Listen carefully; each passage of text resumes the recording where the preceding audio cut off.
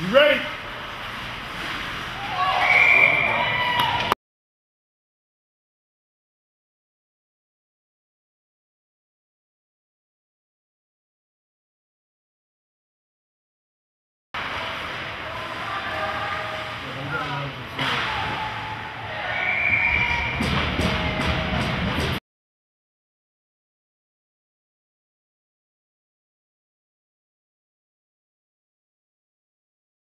Pode ser.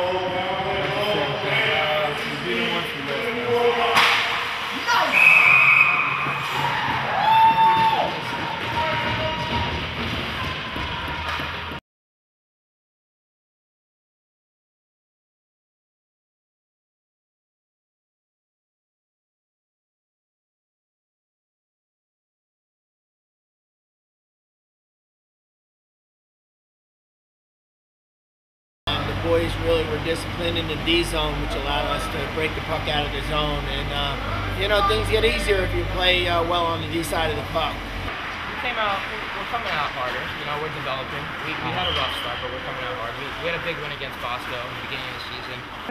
Yeah, I kept busy. The first period was a little light. The second period, they started coming out a little harder. In the third period, I got really tested. I lost my shutout, but it's a good game.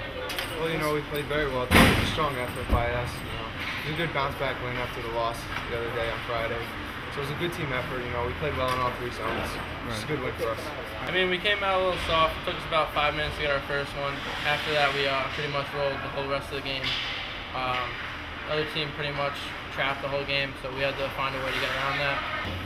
Well, Wednesday we have Christian Brothers, which is you know one of the elite programs in the Gordon uh, Conference. So that'll Right. be Wednesday.